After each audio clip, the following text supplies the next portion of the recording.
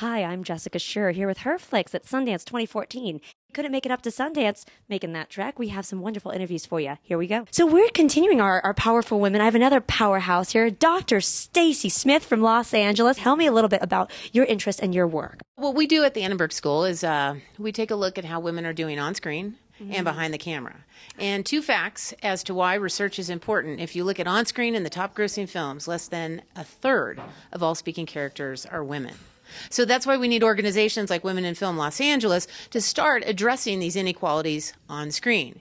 If we t- turn to behind the camera, it's a ratio of five males to every one female as directors, writers, and producers. So, so this organization is really important, and my work fuels their activism efforts. And we also partner with uh, Sundance Institute and the Geena Davis Institute for Gender and Media. So I am the director of the Media Diversity and Social Change Initiative, and we've been working in this space since 2005. And do you see um, results from what you're doing? Do you are you seeing that women are learning, or how in which they can strengthen themselves? Well, I think we're seeing two things. We're seeing um, groups come on board to reduce the barriers and impediments for women behind the camera.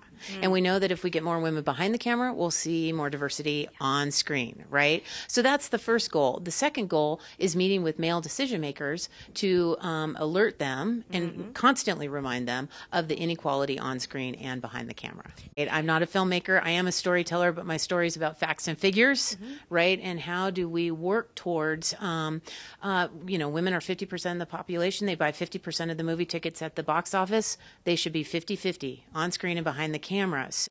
And this has been a herFlix moment.